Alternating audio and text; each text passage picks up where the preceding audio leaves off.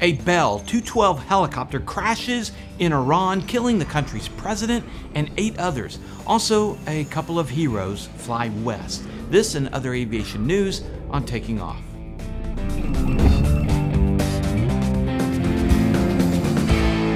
Hi, I'm Dan Milliken, and welcome to Taking Off. Thanks to our sponsors like ClemensInsurance.net. Jerry saved me a lot of money when I switched over to him. More about our sponsors at the end and in the links below.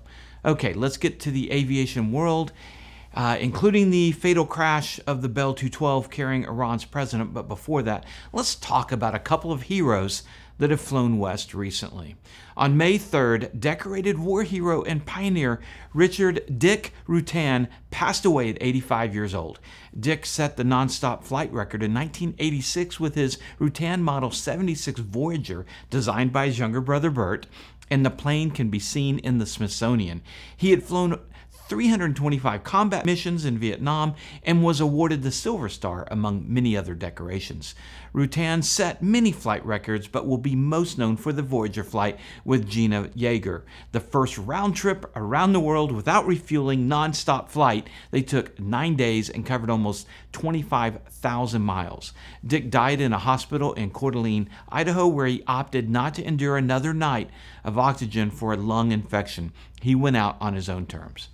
Another hero, World War II triple ace Clarence Bud Anderson, died peacefully in his sleep on May 17th at the age of 102.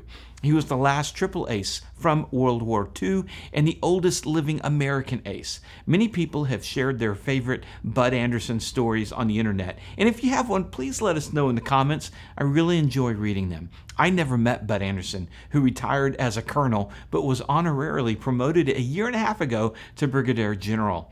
His P 51 Mustang he flew in combat was named Old Crow after his favorite drink. He had 16 kills against the Nazis. He also flew in Vietnam and didn't stop flying until in his 90s. So, blue skies and tailwinds to both pilots. Turning now to the international news. Iran's president, Ibrahim Raisi, has died in a helicopter crash. While tensions and conflicts in the area are at an all time high, it's looking like there's no apparent foul play on the crash. What we know is that on May 19th, Raisi and the country's foreign minister and seven others were found dead hours after their helicopter crashed in fog. Supreme leader Ayatollah Khamenei quickly named the first vice president as the new president, insisting the government was in control. From the pictures I've seen during the search for the helicopter, there was a very thick, heavy fog, and reports were that there were three helicopters and the other two made it safely to the destination, but the one carrying Raisi did not. A search was started, and after a few hours, the Bell 212 was found. Here's who's been confirmed aboard the helicopter no survivors. Raisi, 63 years old, a hardliner, viewed as potentially the next supreme leader. The foreign minister, who was 60, also found was Malek Rahmati, governor of East Azerbaijan province, the head of Raisi's guard team, the pilot, Colonel Syed Mustavi, co-pilot Mohsen Daryanoush, and the flight technician, Major Baruz Gadami. In total, nine people were aboard the helicopter, according to Al Jazeera. The Bell 212 was developed from the Huey with a second engine being installed into the design, giving it a much greater carrying capacity. In addition to carrying VIPs, it's used around the world for law enforcement, fire departments, Coast Guard, and, and many others. The helicopter has variants that can take up to 15 people. Originally, the 212 was developed for Canadian forces in the late 60s. Then civilian variants marketed to all those different industries started in the early 70s. The two engines are usually Pratt & Whitney PT6s with a two-bladed rotor. The 412 later introduced is basically a four-bladed 212. The last 212 was delivered in 1998, and according to Reuters, Iran has 10 of these purchased back in the 70s during the Shah of Iran's days. The aircraft was probably 50 years old.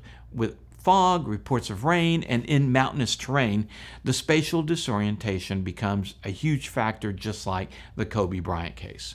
Al Jazeera is reporting that there was no communication from the pilot, and first responders were ham hampered by the weather at the site.